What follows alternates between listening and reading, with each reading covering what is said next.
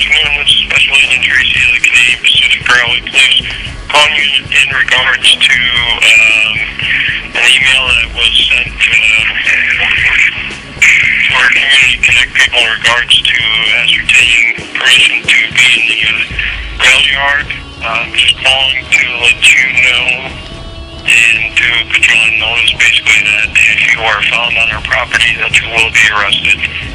Uh, if you have any problems or any questions, you can contact our 1-800 number at 1-800-716-9132. Thank you.